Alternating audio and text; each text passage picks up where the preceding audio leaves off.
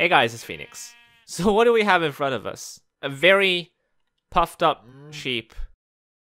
Not very round. Well, not very round. You can see the head is just sticking out of the massive wool thing that it's grown. You okay in there? You okay? I don't think he is.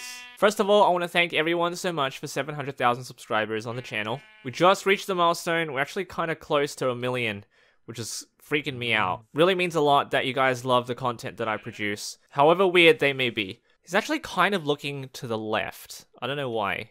Maybe he's trying to get out. Now, the reason why this sheep is so puffy is because it hasn't been sheared in a very long time. Sometimes the ideas for videos come from content on Reddit, and I believe this post came from Tumblr. It was posted by Cubed Sheep. Minecraft mod where if you don't shear sheep, their wool keeps growing more and more until the sheep becomes large cubes of wool with a little sheep face. So here's the sheep. He's fine right now because he just ate the grass and he was just sheared. Forget about the axe. So let's say I wanted to shear the sheep. You can see I've got blue wool and he is now naked. Alright, let's you can move around now. I made him no AI. So now I'm just gonna wait for him to eat the grass and grow the wool back.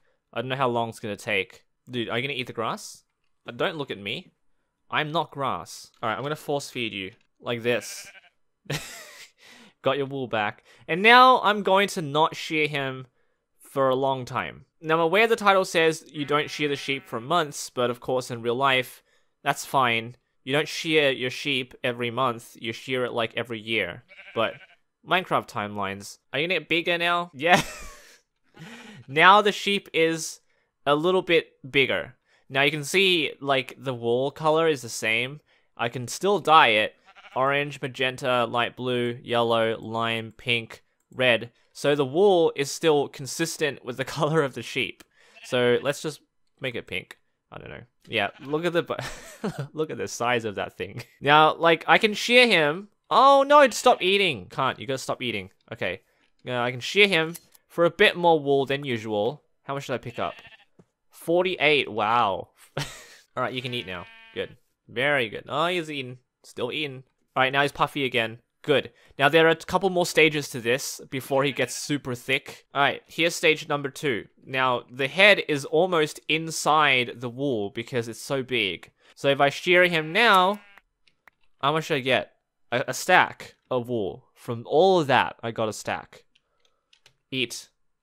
Excellent. And here is the final stage where it gets really, really big. There we go. He's actually very slow now, but you can't imagine how like, how can you walk in that thing? I can summon another one. There we go. You make it more very big. These are two very, very big sheep. And can you guys mate still? Wow. Okay. Oh, no. Do you see your parents? Do you see your parents? Oh, the baby sheep is stuck inside the wall. I think this is probably the best state for them to be in. Like, they're comfortable as well, I think. And they provide extra bit of wool for all of you. Dang, it feels like I could just sit on them. They look so comfy. There we have it. What happens if you don't shear your sheep in a very long time? This is not available for download, but um, I hope someone makes a mod for this. Don't hide inside. Thank you all so much for watching. Leave a like, subscribe for more creative content. Such a silly idea. Take care.